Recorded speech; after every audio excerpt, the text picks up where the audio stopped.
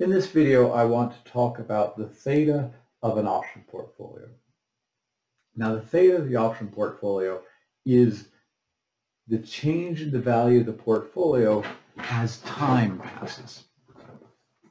Theta is typically quoted as the change in the value of a portfolio as time goes forward a day.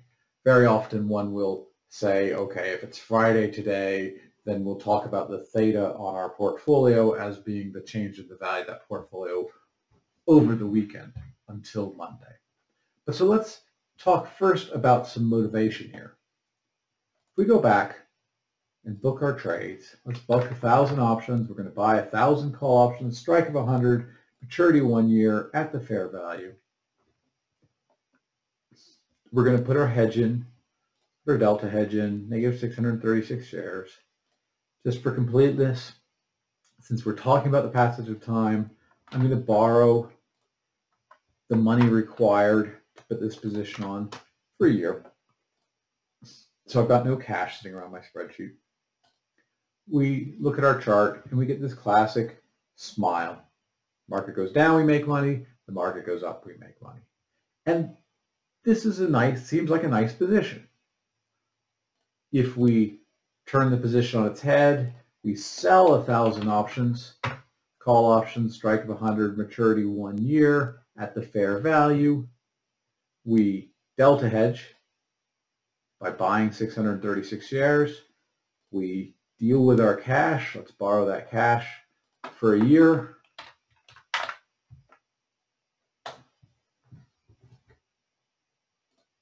We look at our chart. It's flipped the chart. Now we lose money whether the market moves go, goes up or down. And this doesn't seem like as nice a position as the being long.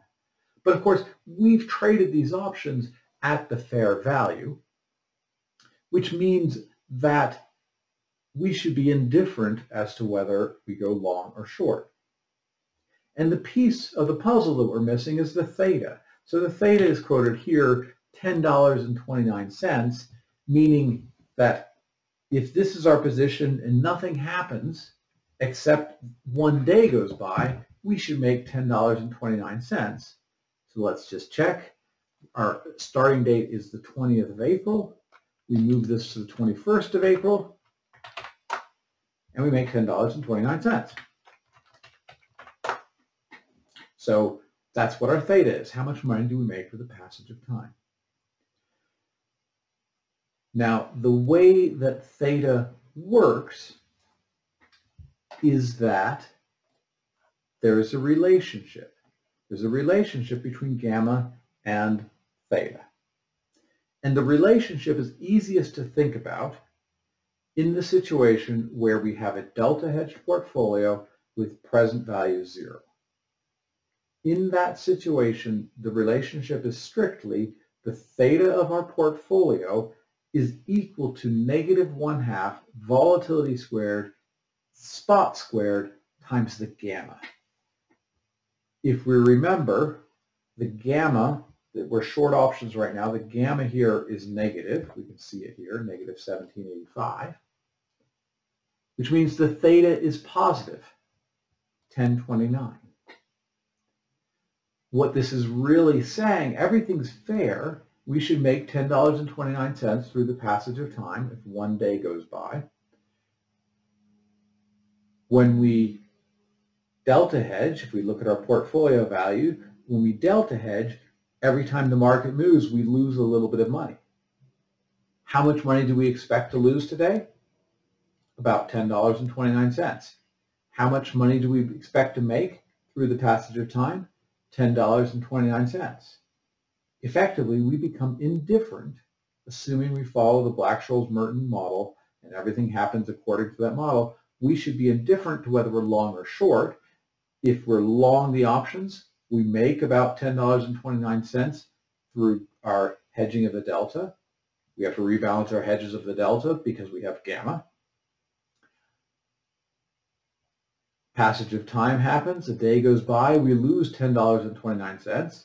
So basically during the day, our present value got bigger and bigger. Eventually it's $10.29.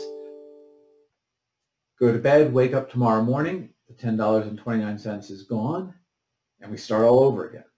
Now, in practice, that's not how Black-Scholes Merton should work because this should be continuous throughout the day, all the time. Basically, the present value should always be zero. We're always rebalancing our hedge. We're always losing a little bit of money from theta. We're always making a little bit of money from the, the hedging strategy, net zero. Of course, here we're short the options. We make money from theta. We lose it from our delta hedging. Every time we rebalance a delta hedge, we lock in a little loss that should be offset by the theta. So basically the missing piece in our picture is our theta. And theta is connected through this theta equals negative one half volatility squared S squared times gamma. But the intuition should be theta is the opposite of gamma. Theta is how much money, money we make or lose holding our position for a day and theta should be a pretty good approximation to the money we expect to make or lose from our gamma.